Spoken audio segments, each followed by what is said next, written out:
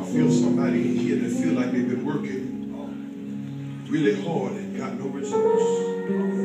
He said, we got no results, but been working all night long. We were crying, we were stressed out, we were going through some things. We were there. It was raining, it was dark. I felt all by myself. And we told all night.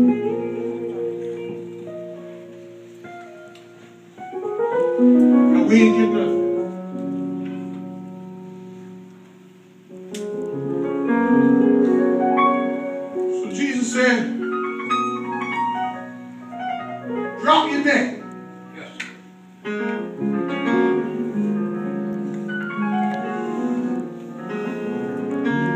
What meant was, meant that you're going to have to take that net and clean it again if you ain't catch nothing.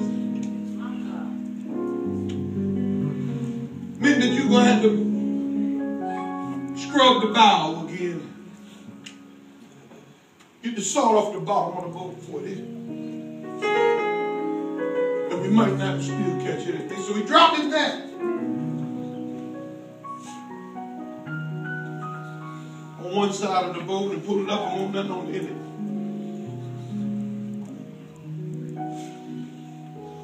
Right when he was about to doubt God, Hallelujah.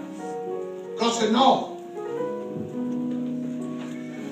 Drop it on the other side.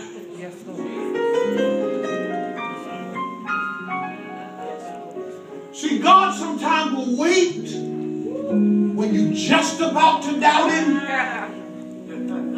before he show up. Yeah. I can see him say, Lord, you just told me drop the net. I trusted you again, and here I am with the same results. God said, wait a minute.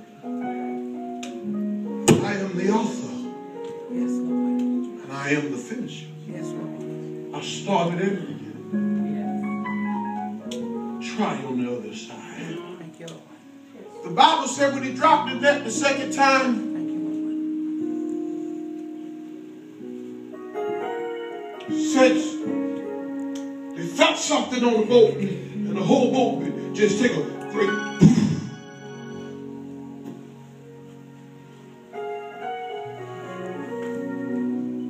start pulling up the net, and the whole boat leaned to the My side. God. Thank you, Lord. Thank you, Lord. Boat leaned to the side because there was so many fish they couldn't get it up. Yes, sir. The Bible records the net began to break. Yeah. Ah. What I'm trying to tell you that God is going to fill you up so that there is no room on your boat. Thank you, Jesus. There's a blessing coming your way that you, think your crying has been in vain. You think that your stress has been in vain. But I'm here to tell you, God is about to fill you up so much until you ain't even going to be able to walk straight. Yeah. Thank you, Jesus.